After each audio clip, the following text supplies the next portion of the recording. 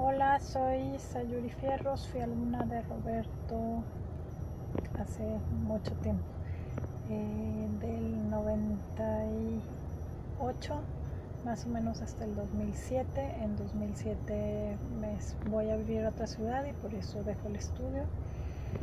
Si por mí fuera y seguiría todavía. Este, este video se lo debo desde hace mucho a Roberto porque me lo pidió y todas las veces que lo he tratado de grabar eh, acabó en la lloradera. Ahorita lo estoy grabando aquí afuera de una reunión que tengo eh, de trabajo y pues a fuerzas no puedo llorar porque me descompongo el maquillaje y luego tengo que exponer un tema. En el estudio aprendí no nada más a bailar y a contar, y a contar muy bien, no más del 1 al 8, pero muy bien. Pero aprendí disciplina, aprendí que la familia no siempre es de sangre, aprendí que la familia también se escoge. Roberto es una persona súper importante para mi vida. Ha estado presente en momentos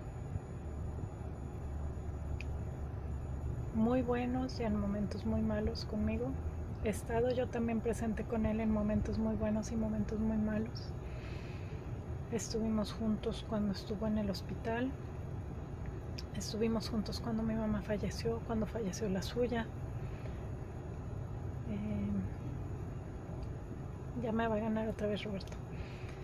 Eh, el estudio de Roberto no nada más te da disciplina, no nada más te da una pasión por el baile, por conocer más de la historia, por saber los pasos, de dónde vienen, te da familia.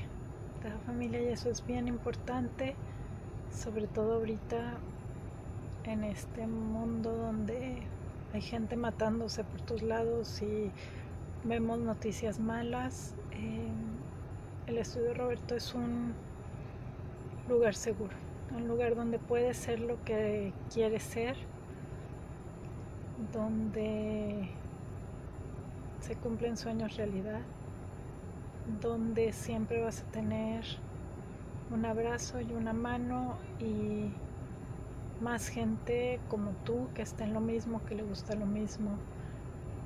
Yo ahorita tengo dos hijos, dejé de bailar eh, pues desde que me embaracé hace